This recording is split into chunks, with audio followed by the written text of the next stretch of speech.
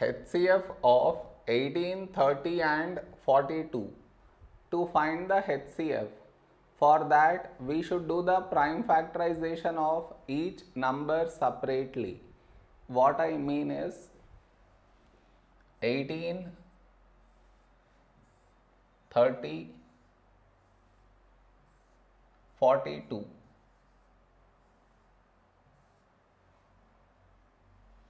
This is your step 1. Next. Here we have 18. 18 is 2 nines 18. Now 9 is 3 threes 9. Now 3 3 is a prime number so 3 ones 3. Now the other number. Last digit 0 so take 5. When do we get 30 in 5 table? 5 6 30.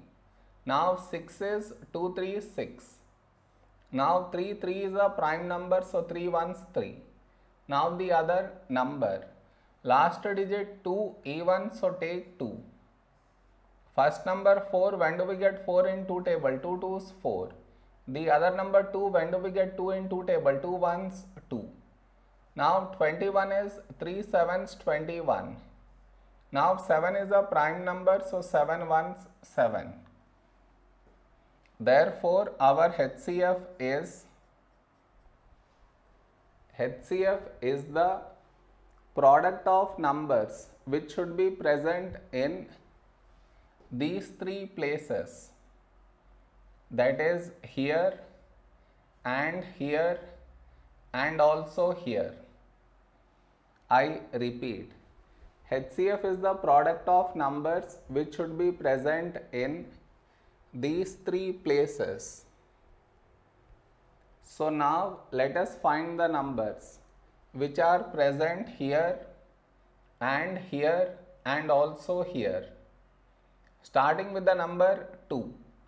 Do we have 2 here? Yes. Go to the next place. Do we have 2 here? Yes.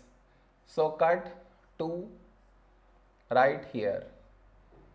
Next number 3. Do we have 3 here? Yes. Go to the next place. Do we have 3 here? Yes. So cut 3 right here. Next number 3. Do we have 3 here? No. No need to check in the other place. No more numbers have been left out. Therefore, our HCF is 2 into 3. 6. 6 is our HCF.